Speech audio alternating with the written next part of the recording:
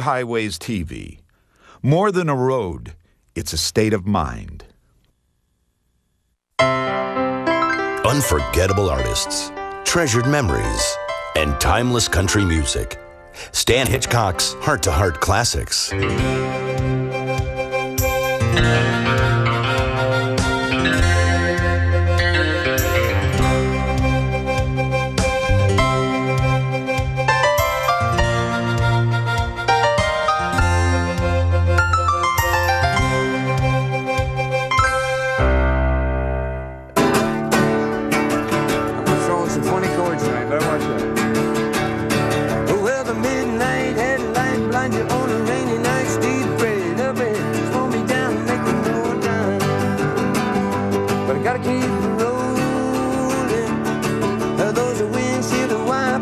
Wipers slapping out a tempo, keeping perfect rhythm with the song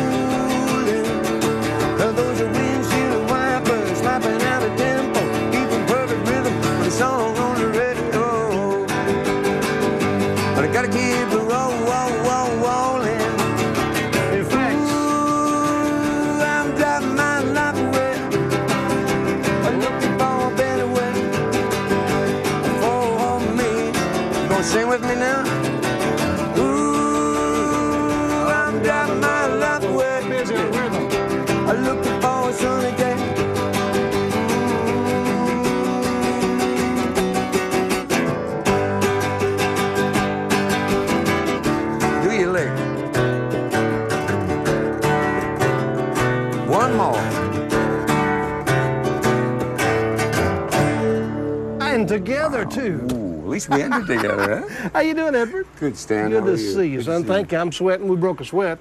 We broke a sweat. But you yeah, break, well, I bet you break a sweat in, in the wintertime. And you just a, you just a natural, healthy, old, good old sweating farm Well, I don't know. I feel from like New I'm- Jersey. That's right, from New Jersey.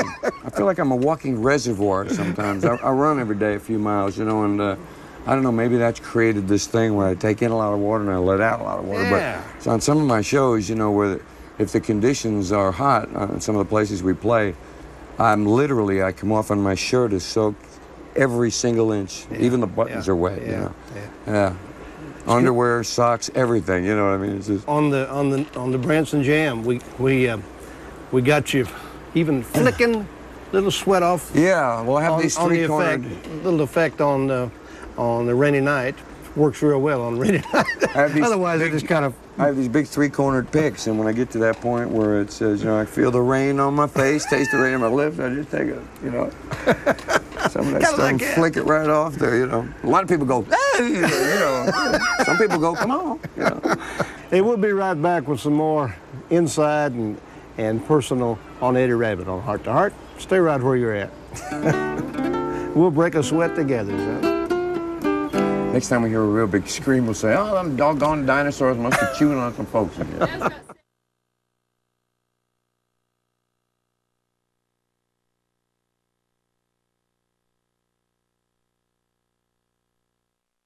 RFD TV is now airing two different episodes of Hee Haw weekly on rural America's most important network.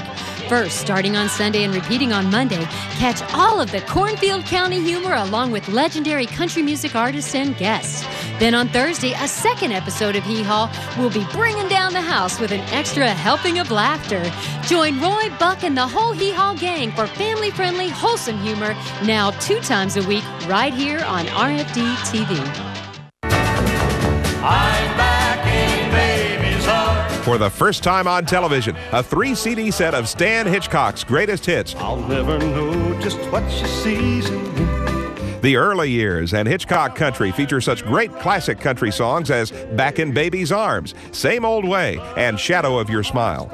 Roads I've Traveled, Songs I've Sung is digitally remastered and features more hits, plus music that was never released on CD. Terrific songs like Honey, I'm Home, Eyes of a Child, At Least Part of the Way, and many more. Three CDs, almost 50 songs for only $34.95.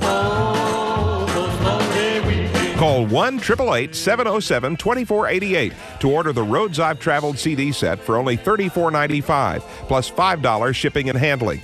Send a check or money order to the address on the screen or for faster delivery, order online at shopbhtv.com. What year did you come to?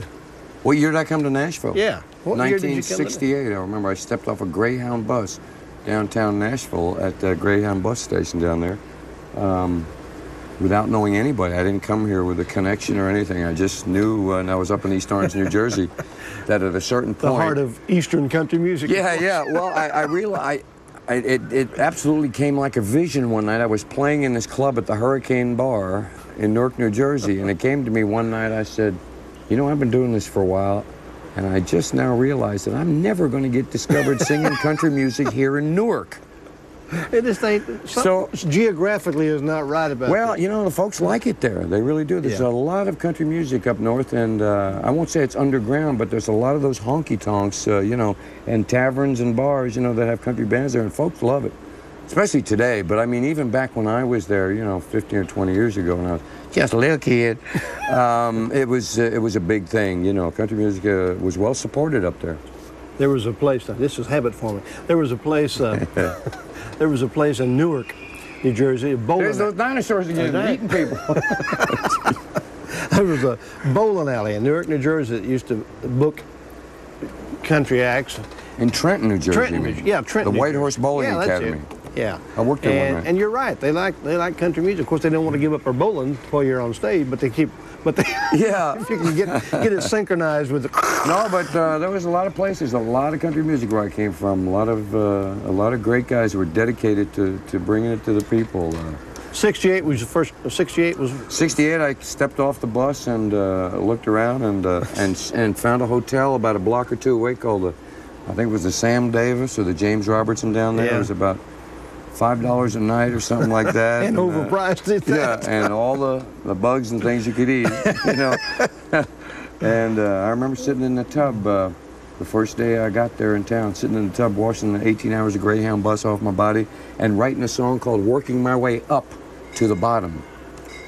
That you- was recorded by Roy Drusky about a month later. I It mean, sure was. I remember the song. I was thinking about somebody who uh, who had said something to me. You know, when you're young like that, every day you look for all these clever things, you know, to say. These, and uh, someone said something about the bottom fell out from from under them, you know, and uh, Yeah. just their whole life was, you know, uh, destroyed or something. And I thought, geez, the bottom fell out. I guess if the bottom falls out and you fall through the bottom, you got to work your way up to the bottom before you can get all the way to the top. And I thought, It was you a know, good good song. and I good was a record. young guy, and uh, I thought that was pretty clever. Yeah. And I'm working my way up to the bottom, fighting back the tears that never stop. Yes, I'm working my way up to the bottom, and I won't need you when I reach the top. yeah. Good song.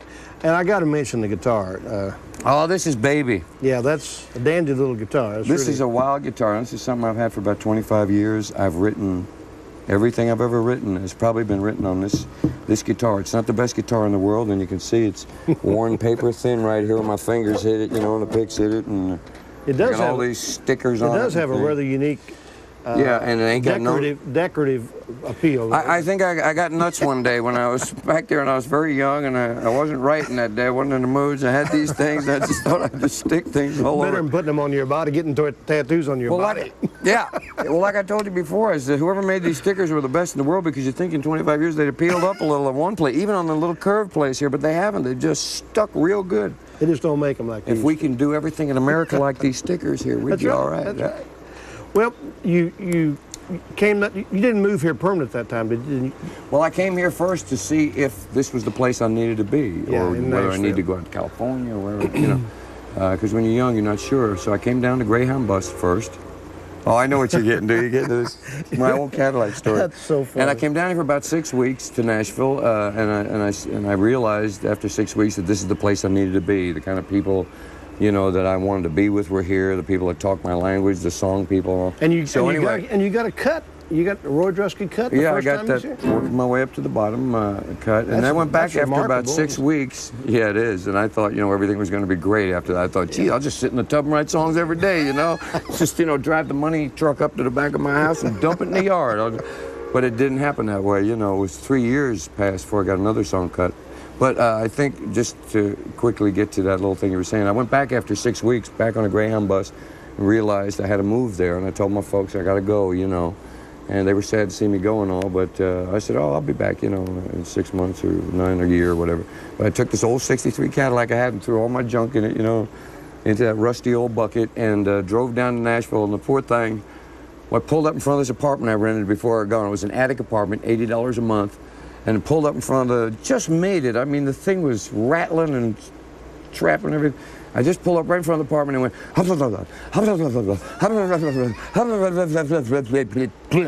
and just stopped, and it never started again. It had just enough in it to get down there, and that was it. That was it. And lucky I had this apartment on what they call Music Row, because back then, basically, most of the music business was in a four or five, six block Yeah. area down there, and you could walk to it. So for the next couple of years, I walked everywhere. But um, The Cadillac's probably still sitting there. The Cadillac, I there was a place called Bunch Nickel Cadillac, and I, I went over there, had it towed over there. See, I'd come down to Nashville with a thousand bucks that I'd saved up. That's all I had, you know, to make my little deal Yeah, go. I had to. I had to live, you know, I had to start making money when that thousand bucks ran out, you know, or I, or I was going to be finished. Um, uh, so uh, I went over to Bunch Nickel Cadillac. I said, "What's it going to cost to fix my Cadillac?" And they told me some outrageous price, you know, like eight hundred dollars or $900. That would take everything I had, you know. So I said, "What do you give me for it?" You know, and they gave, gave me, I think, two or three hundred dollars for it. I said, "I'll take it." So you know, here I was with twelve or thirteen hundred dollars now. You know, no car, but it was okay. I think it was better not having a car, you know, Yeah, because the walking around and, and everything, you know, was What a different. Nashville that was then, man. yeah, it was. What Yeah. different times. You know, it was like a small. I've said many times. It was like it was like going to a small town within a town. The music community in Nashville in the '60s was really like a, just a small village within within the city of Nashville. It- That's right. and you, was a small market out, then. You hung out with people, and Yeah. songwriters would, would feel free to swap their licks and their songs and sit down and, and, and share their music. And And we went over to the Opry on Saturday night, and we'd go to Tootsie's, you know, around, back, afterwards. hang around backstage. hang out backstage Yeah. there, or hang out with in Tootsie's, you know, where you'd see people like Faron Young, you know, and uh, Porter Wagoner, all these, you know, great people, you know, who were real hot at the time, you know, You were see there. Faron and Tootsie, I guarantee you. That, Yeah. that was that was Faron's hangout. Hey, we all were uh, were dipping and sliding, you know, uh, a bit back then. We were having a good time. Uh, what what what was the catalyst then that, that took you to the next from a songwriter? And I knew you from a songwriter before I knew you as an artist. you recorded, uh, I recorded a song that you yeah. wrote, and uh, uh, had you know I, I And that it was a great good cut, song. by the way, was too. a great song, and great- uh, you did a great job on it. uh, you were you were a, a songwriter. What was the catalyst that took you from that to being an artist? Well, I always wanted to sing my own songs. You know, that was Mm-hmm. something I always wanted to do. You know, uh, and, And you but- came to town. You came to town just at the era when the singing songwriters started coming Yeah. about too. That was a good good timing Yeah. for you too. Yeah, it- You know, the, I don't know. Uh, yeah, I don't know if the town was ready for me or I was ready for the town, but uh, it was a good time. Things didn't happen real quick though, but it was the time of the singer-songwriter, you know, trying to get a deal. But, uh, but you know, when you first get to town, uh, you don't know anybody and you haven't got what they call a track record, so you have to give your songs away or write, you know, get into the production line of you know uh, of songs and, and give them to other people. And then when you get a, a name for yourself built up, and you start to know the producers of the record companies and uh, and this and that, and, and if you sing fairly well, somewhere along the line, one of those producers is going to want to discover an act, you know, and, and you might be the one they want to discover, you know. And, and luckily uh, for me, that happened. A guy named Russ Miller came in and heard some demos I had done on some songs. And he was tied with Elektra Records at the time. And he came in, and I remember him listening through the door of a studio that my friends and I were just sitting in listening, you know, to that. I remember him knocking on the door and uh, saying, What is that music in there? What are you playing? Oh, just something we did in the studio late last night. And he said, Could I hear it? And he listened to it. And when he got through listening to the, uh, the two songs we did, he said, he said three things. He said, I want you, I want those records. And he said, We're going to make you a big star. And uh, all it was missing Sounds was like a big pretty good deal to cigar, me. you know? A Yeah. pretty good deal to me. Yeah, well, you know, when you're a kid and someone says that to you, man, you know, you know, you're just uh, Yeah. you're just off. And, and but he followed through with his word. Two weeks later, a contract came down, and one of those uh, two songs uh, came out. Um, it went to 17 in the Billboard chart, surprisingly enough. And then he said, "Okay," he said, uh, "Go do an album." And so we had our first album, and the first album we ever had out for folks who may be collectors of these things. I don't know, there may be two or three out there. Uh, I was holding a rabbit. Uh, you know, I went with the photographer's idea. Hey, why don't you hold a rabbit? Your name's Eddie. Rabbit, you know. And, I- and back then I said, oh, okay. Today I would have said, get out, you know. Making fun of my name like that. Big picture of a rabbit on the back, but it but it was a good thing actually because it got a lot of people's attention.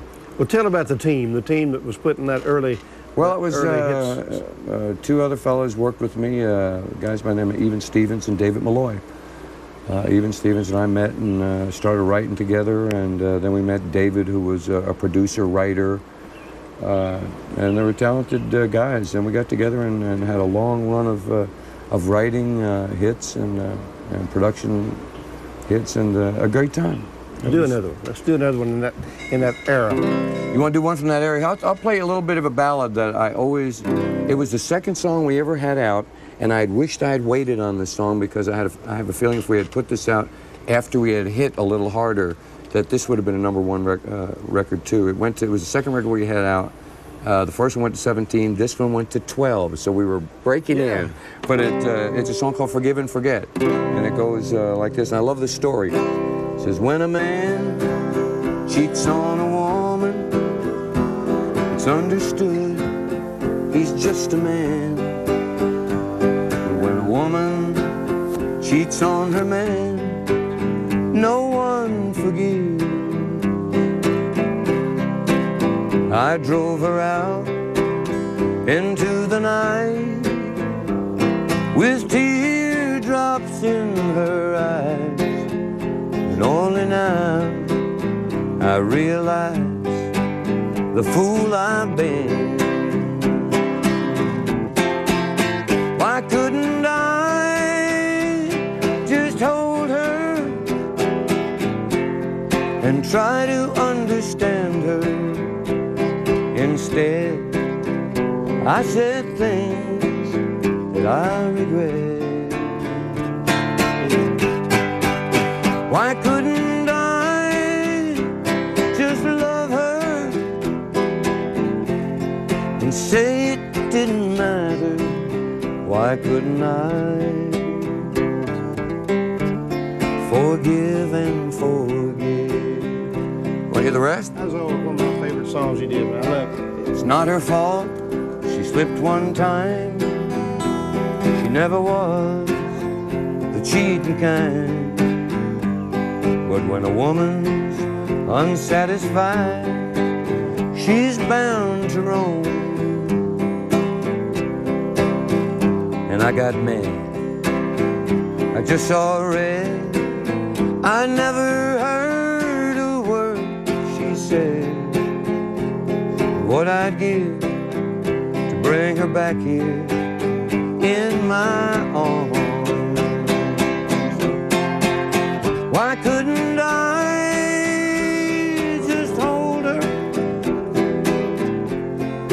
understand her. Instead, I said things that I'll regret. Why couldn't I just love her and say it didn't matter? Why couldn't I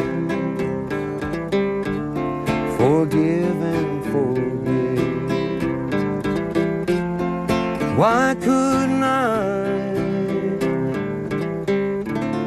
forgive and forget?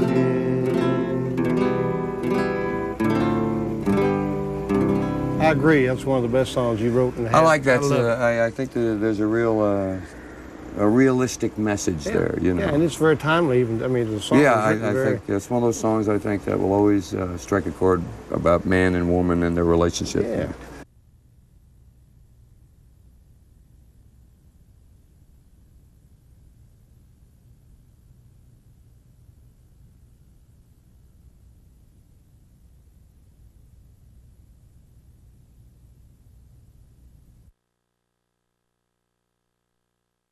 The July August issue of RFD TV, the magazine, is making the summer sizzle with hot topics and programming for the entire family. See what U.S. Agriculture Secretary Tom Vilsack had to say about homegrown energy and fueling America's future. In the What's New section, you'll find out that the King of the Cowboys will continue to make his appearance here on RFD TV and The Roy Rogers Show. The Rural Lifestyle section will surely make you smile with working dogs, your best friend on the farm. Also, check out how to preserve and research your farm's history using the latest technology available. Or find out how fun it is to upcycle using old glass, plates, and bowls. The country music and entertainment section features the man behind RFD TVs in the bunkhouse, Red Steagall. And don't forget to help guide the future of RFD TV by filling out the new 2011 viewer survey. You'll find all this and much more, including regular features, program grid, auction schedule, and viewer mail. So renew or subscribe today. Subscribe to RFD TV, the magazine, and get a free denim cap along with your six exciting issues throughout the year. A one year subscription is just $30. To order by credit card, call 888 657 3388. Online, go to RFDTV.com and click magazine. Or send a $30 check or money order to RFD TV, the magazine, P.O. Box 78546, Nashville, Tennessee 37207. Keep up with rural America and place your order today. At the corner of Music Row and Memory Lane by Stan Hitchcock, a backstage pass to Nashville's music history and the superstars it created. Rare stories about Tammy Wynette, Mel Tillis, Ernest Tubb, Garth Brooks, and many more. It's 1961. From Nashville, Tennessee, in the Ryman Auditorium, it's the Grand Ole Opry. Let her go, boys. Packed with over 100 rare photos. At the corner of Music Road takes country music fans along for the ride of making it big in Nashville. I hollered for Loretta to wake up because I sure didn't want her to miss our being captured by a UFO. This book is a must for any country music fan. Order now and receive a free music CD, all for $24.95 plus shipping and handling. Call 866 454 2488. Send your check or money order for Stan's book to Blue Highways TV, 111 Shivel Drive, Hendersonville, Tennessee, 37075. When did the Elvis cut come about? The Elvis cut came uh, after I was in town about I mean, two, had you two and a half had, years. had you, was you already re- recording, or was you? no, still, no, I wasn't recording. I wasn't doing it. I didn't start recording until uh, 75, was it? Something like that, 76. So you were just still just writing, and, and Yeah, just a little little rabbit then, you know. um, yeah, I was just writing, and uh, I had had some songs cut. Uh, you know, um, it's funny. I had that working my way up to the bottom with Roy Yeah. Drusky, and uh, and then a little later on, a guy named Billy Grammer. You remember the guitar Oh, player? yeah, And he had yeah. to travel on. I've laid around and played around this whole town long. He recorded a song of mine called Bottles. And it was a funny little song. It had four verses in it, and it's how bottles affect someone's life. You know, when you're young, you have a tendency to write certain songs like that. I was talking to Billy Joe Shaver once, and he had a few of those in his in his uh, his catalog of songs. Yes, a he few of those murder, suicide type of weird, you know, kind of songs. And I don't know why when you're young, I guess you want to shock someone, you know, and try to get their attention with a song. You end up, you know, going from these kind of uh, crazy songs right to love songs where you you know, where you should have been all the time. But Do, do the Kentucky Rain. Kentucky Rain. Yeah. This was a song that. This is a song that um, became Elvis's 50th gold record. Yeah. It's a song that made my mom and dad real proud.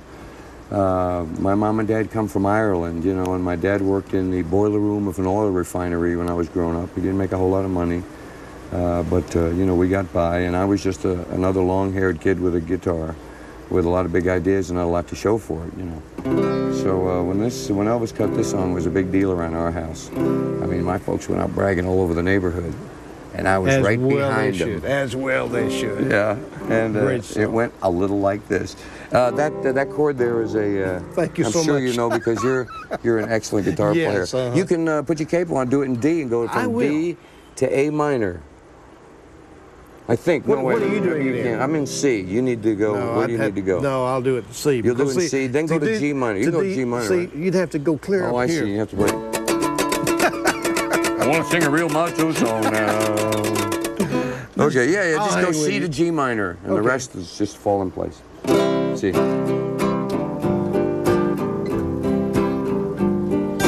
Seven lonely days and a dozen towns ago, I reached out one night and you were gone. Don't know why you'd run, what you're running to or from. All I know is I want to bring you home. So I'm walking in the rain, thumbing for a ride on this lonely Kentucky back road. I've loved you much too long. My love's too strong to let you go, never knowing